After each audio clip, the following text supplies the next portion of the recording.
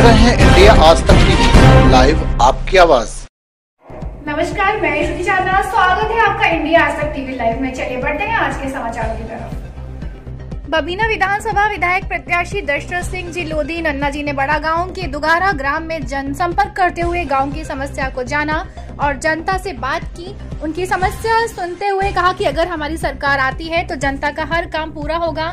जो भी विकास के काम नहीं हुए हैं, वह पूर्ण करेगी झांसी से मंडल। इब्राहिम दास की खास खबर।